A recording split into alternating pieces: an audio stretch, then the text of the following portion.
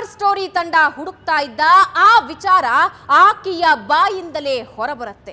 ಆ ನೊಂದವಳು ಹೇಳಿದ ಕಥೆಯಲ್ಲಿ ಪ್ರಭಾವ ಬೀರೋ ಆ ವ್ಯಕ್ತಿಗಳು ಯಾರು?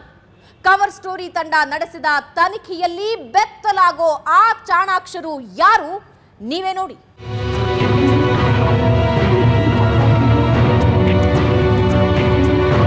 ಆಕೆ ನೋವಿನ ಕಥೆಯನ್ನ ಹೇಳ್ಕೊಳ್ತಿದ್ದಾಳೆ.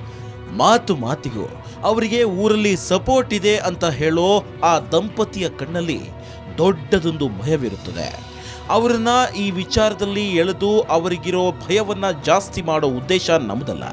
ಹೀಗಾಗಿ ಆಕೆ ಮಾತನಾಡಿರೋ ಸಾಕಷ್ಟು ವಿಷಯಗಳನ್ನ ಒಂದೆರಡು ಕ್ಲಿಪ್ಗಳನ್ನ ಮಾತ್ರ ಇಲ್ಲಿ ಬಳಸಲಾಗ್ತಿದೆ.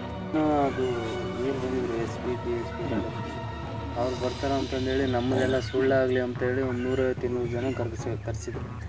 ಇವರೇ ಮೇಡಮ್ ಅವರು ತಪ್ಪಾಗಿ ತಿಳ್ಕೊಂಡು ಬಂದ್ಬಿಟ್ಟು ಎಲ್ಲ ನಮ್ಮನ್ನು ಬಂದು ಕ್ಷಮೆ ಕೇಳ್ಬೇಕು ಅಂತ ಅವರು ಅವ್ರ ವಿರುದ್ಧವಾಗಿ ಅವರೆಲ್ಲ ನೋಡ್ಕೊಂಡು ಸರ್ ಹೇಳಿದ್ರು ಪೇಪರ್ ಸೈನ್ ಮಾಡಿಸಿದ್ರಾ? ಅವರು ಎಲ್ಲರೂ ಮಾಡಿದ್ದಾರೆ ಸರ್ ಸರ್. ಅಷ್ಟು ಭಯ ಯಾಕೆ? ಯಾರು? ಆ ಭಯ ಹುಟ್ಟಿಸ್ತಿರೋದು ಯಾರು? ಅನ್ನೋ ಪ್ರಶ್ನೆಗೆ ಕವರ್ ಸ್ಟೋರಿ ಉತ್ತರ ಕಂಡುಕೊಳ್ಳುತ್ತದೆ. ನಮಗೆ ಈ ಪ್ರಶ್ನೆಗೆ ಆರಂಭದಲ್ಲಿ ಉತ್ತರ ಸಿಗುತ್ತದೆ. ಎಷ್ಟು ಬಂದ್ರೆ ಎಲ್ಲ ಒಬ್ರು ಒಬ್ರು ಬಾಯ್ ಬಿಡ್ಲ್ವಾ? ನಂಬಿಕೆ ಸ್ವಾಮಿ ಭಯ ಒಬ್ಬೊಬ್ಬರು ಹೆಸರು ಒಬ್ರು ಹೇಳಕ್ಕೆ ಕಷ್ಟ ಮಾತ್ರ. ಹೌದಾ? ಇದೇ ಮಾತನ್ನ ಅಲ್ಲಿನ ಜನ ತುಂಬಾ ಭಯದಿಂದ ಹೇಳ್ತಾರೆ.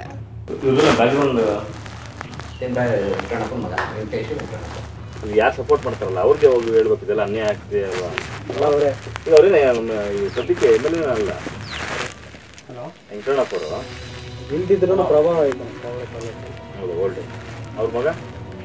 ಅವ್ರಿಗೇನೆ ಅಪ್ಪ ಇನ್ನೂ ಒಂಥರ ಮೇಲ್ ಅಂತದ್ದು ಸುಮಾರು ಸುಮಾರು ಅವೆಲ್ಲ ನಾವೆಲ್ಲ ಸಾವಿರಗೆಲ್ಲ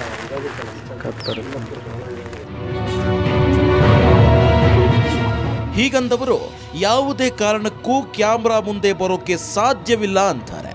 ಅಂಥ ಭಯ ನಿಡಿಗಲ್ ಭಾಗದಲ್ಲಿ ನಿರ್ಮಾಣವಾಗ್ಬಿಟ್ಟಿದ್ಯಾ ಅಂತ ಒಂದು ಕ್ಷಣ ನಮಗೆ ಅನಿಸ್ತಿತ್ತು. ಮುಂದೆ ಅದು ನಿಜ ಆಗುತ್ತಾ ಹೋಗುತ್ತೆ. ಆ ಭಾಗದ ಸುತ್ತಮುತ್ತ ವರದಿ ಮಾಡುತ್ತಿದ್ದ ನಮಗೆ ಪದೇ ಪದೇ ನೆನಪಿಗೆ ಬಂದದ್ದು ಮಾತ್ರ ನಾಲ್ಕು ವರ್ಷಗಳ ಹಿಂದೆ ನಡೆದಿದೆ ಎನ್ನಲಾದ ಅಂಧ ಮಹಿಳೆಯ ಮೇಲಿನ ಅತ್ಯಾಚಾರ ಪ್ರಕರಣ. ಆಕೆಯನ್ನ ಹೇಗಾದರೂ ಮಾಡಿ ಹುಡುಕಲೇಬೇಕು ಅಂತ ನಾವು ಹೊರಟ್ವಿ.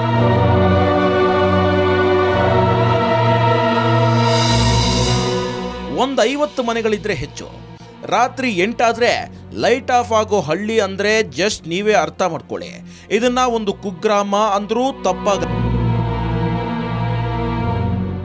ಆಕೆಗಾದ ಅನ್ಯಾಯವನ್ನ ಹೇಗಾದ್ರೂ ಮಾಡಿ ಬಟಾಬಯಲು ಮಾಡಬೇಕು ಅನ್ನೋ ಹಠ ನಮ್ಮಲ್ಲಿದ್ರೆ. ನಮ್ಮನ್ನ ಊರಿನಿಂದ ಹೊರಹಾಕಬೇಕು ಅಂತ ಆ ಪ್ರಭಾವಿಯ ಪಟಾಲಂ ಗ್ಯಾಂಗ್ ಕಾಯ್ತಾ ಇತ್ತು. ನಮಗೇ ಗೊತ್ತಿಲ್ಲದೆ ನಮ್ಮನ್ನ ಕಾಯೋದು ಅಂದ್ರೆ ಬಹುಶಃ ಇದೇ ಇರಬೇಕು. ಆ ಇಂಟ್ರೆಸ್ಟಿಂಗ್ ಪಾರ್ಟ್ ಬ್ರೇಕ್ನ ನಂತರ.